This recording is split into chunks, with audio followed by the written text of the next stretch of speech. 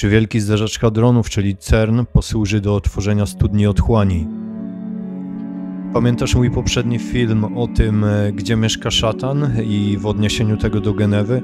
Jeśli nie, to zachęcam Cię do obejrzenia, bo to jakby stanowi jedną całość. Dlatego, że CERN znajduje się na przedmieściach Genewy i na pograniczu Francji i Szwajcarii. Ale do rzeczy, widzisz tą tutaj miejscowość, niewielka miejscowość, Saint-Gains-Pauli. Ta miejscowość ma swoją oficjalną stronę internetową i tam czytamy, że CERN jest znany na całym świecie, ale niewiele osób wie, że jest w dużej mierze zainstalowany na terytorium Saint-Gains-Pauli, czyli właśnie tej miejscowości. Człon nazwy tej miejscowości Pauli pochodzi od łacińskiego Apoliacum. Najprawdopodobniej w czasach rzymskich stała tam świątynia poświęcona Apollinowi.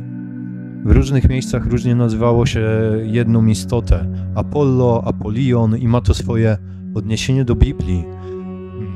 I ujrzałem gwiazdę, która spadła z nieba na ziemię i dano jej klucz do studni czeluści i otworzyła studnię czeluści. E, a z dymu wyszła szarańcza na ziemię i dano jej moc, jaką mają ziemskie skorpiony. No i tam dalej jest opis tej szarańczy i tak dalej, a później jest e, napisane, że mają nad sobą króla, anioła czeluści, imię jego po hebrajsku Abaddon, a w greckim języku na imię ma Apolion. Więc tam, gdzie jest wybudowany CERN, stała świątynia poświęcona Apolinowi. I CERN jest w dużej mierze zainstalowany na terytorium właśnie tej miejscowości, gdzie była ta świątynia. Czyli hmm, robi się ciekawie. CERN stoi w miejscu, gdzie była świątynia Anioła Czeluści. Według niektórych źródeł historycznych ta świątynia Apoliona była miejscem połączenia świata tu naszego ze światem podziemnym. A teraz spójrz na nazwy niektórych urządzeń, które wchodzą w skład y, kompleksu CERN. Na przykład detektor Hades. Hades to Bóg podziemia, ale również i określeniem Hades określa się piekło.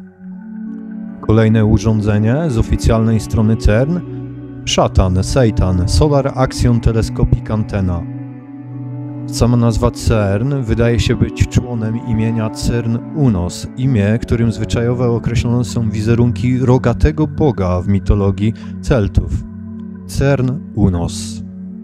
Kolejne urządzenie z kompleksu CERN Cerberus, a Triple Ionization Humber System, CERN Genewa. Cerber to strażnik piekieł, trzygłowy pies. Znów odniesienie do piekła. A koło samej siedziby Cernu stoi figurka Siwy, boga zniszczenia. No i prawdopodobnie Shiva jest tożsamy z Apolionem, bo on też jest aniołem, bogiem zniszczenia, więc co oni chcą tam otworzyć?